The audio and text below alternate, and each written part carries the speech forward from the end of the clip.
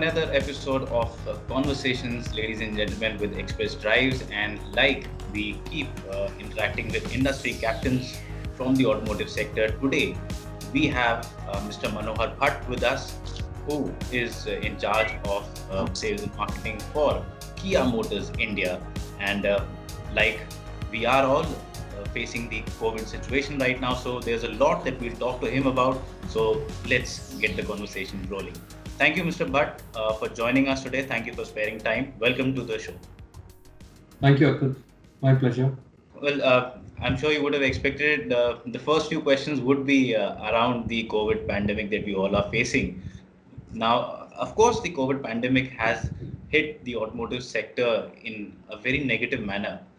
But Kia, being one of the newest entrants in the Indian automotive market, has the hit been uh, much uh, harder for Kia to absorb? Has it because it was just you had started operations, you started doing well? Is it been a harder hit for Kia?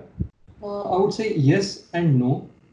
No, because we are young as a company. My dealers also are young in that term, in the terms that they are just started out their business.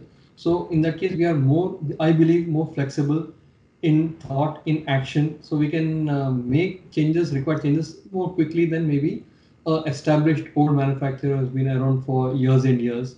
So to that extent, I think we are in a better position because we are new. But having said that, the the, the flip side is yes, we have just started out. So we are not our dealers, uh, or we also we have got a uh, we have just started our business. So a question of profitability and all that will be more uh, uh serious for us, for our dealers, then someone else has got some buffer, some uh, earlier profits and earlier revenue to have banked upon. So to that extent, yes, it's slightly worse. But overall, I think we take it as it comes.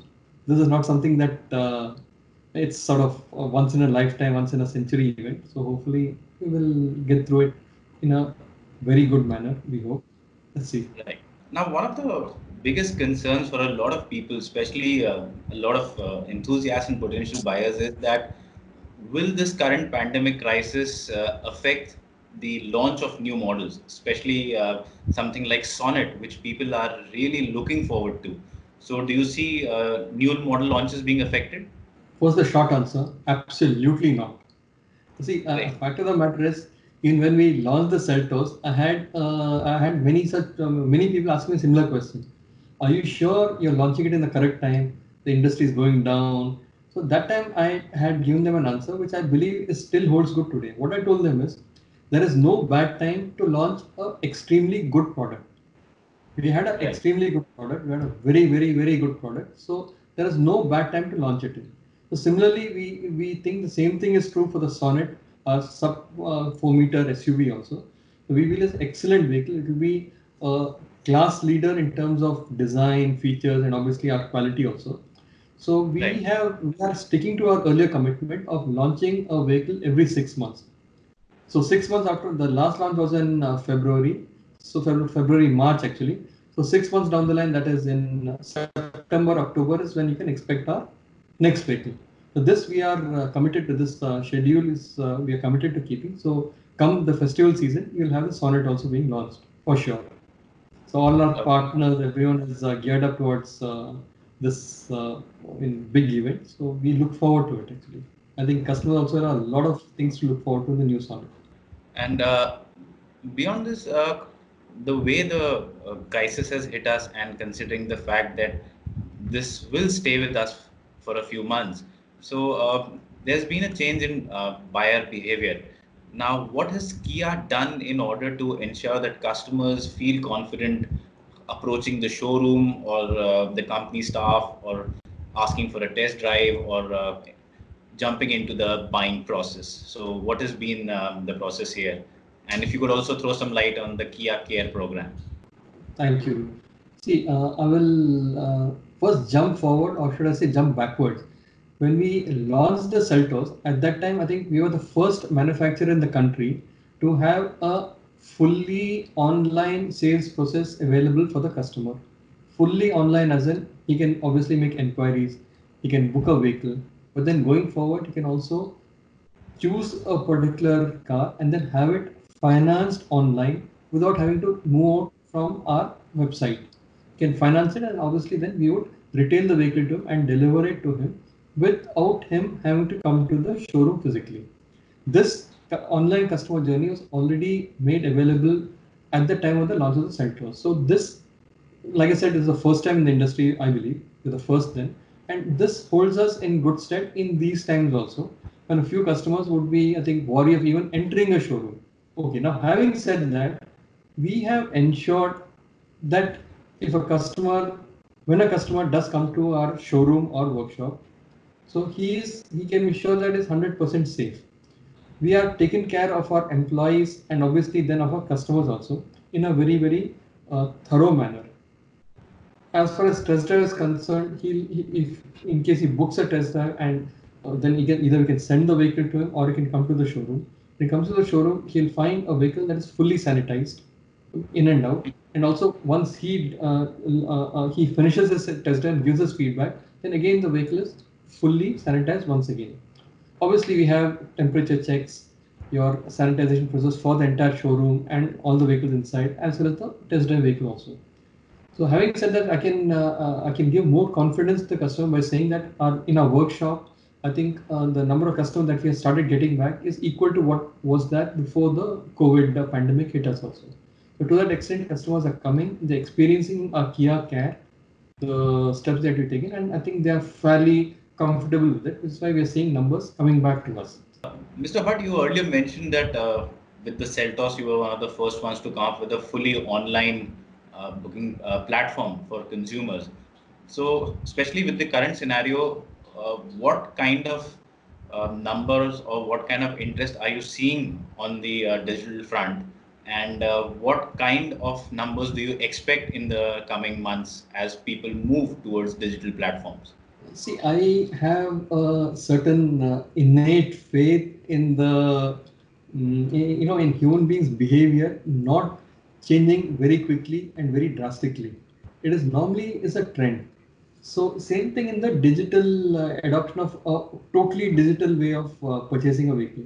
Now, I believe a car is still a very high involvement and also high investment uh, decision for the customer so right.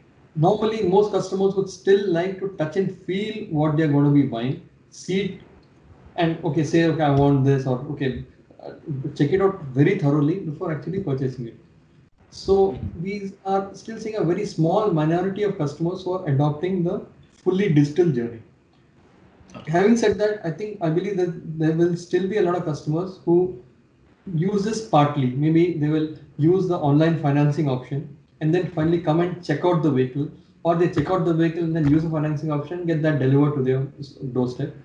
Uh, so this is yes it is uh, we are seeing a lot of i mean the adoption is increasing day by day but this becoming the norm i think is still uh, far uh, i mean uh, we are still it'll take a lot of time for that to be uh, in the majority form of a purchase. Sort of it might be true for a lower end consumer durable, but still I think for uh, high involvement durable, it'll still take some time. But like I said, a lot of customers are using parts of it in a much more uh, what do you call it? Uh, uh lots more uh, customers are being are taking up this option. Uh, would you have any kind of numbers as of as of now, right now, like how many people have registered on your platform, or how many people, or what kind of sales conversions do you have there? Uh, see, uh, numbers wise, I can uh, uh, I can give you a certain idea of how many. I mean, uh, if you are interested, how many people are uh, going in for the fully online digital journey? Yes. say it's almost what a hundred a month is what we were seeing earlier, which is I think a very good deal. But this does not include the people who are only taking part of the journey digitally online and then coming to the your brick store for the rest of it, and then again going back for the digital journey. So I'm just talking on the overall like end-to-end totally digital journey. A couple yes. of uh, uh, around 100 or something is what I think we are last seeing. Then, like I said, it is increasing month on month. Mr. Bhat, uh, recently uh, the government came up with a slew of announcements wherein they claim that uh, they'll, their, their packages will benefit the industry. So, what is your view on the uh, packages announced by the government in respect to uh, the automotive industry? I think government has done a lot of uh, uh, good things in terms of increasing the liquidity available in the economy to the banks, etc. But then, unfortunately, the demand side of it is still not being seen. Uh, uh, uh, activities to increase the demand, for example, because MSMEs and all that have been. It's a very good thing that the government has done in in protecting and encouraging MSMEs to further their activities. But unfortunately, look at it like this: MSMEs also will be low to actually start their uh, uh, business in a big way unless they see demand coming in. This demand, frankly, we are not seeing any demand coming in because I believe that the customer is still the, the customer who finally pays up. He is not feeling uh, uh, safe enough or rich enough to actually go and splurge or buy something.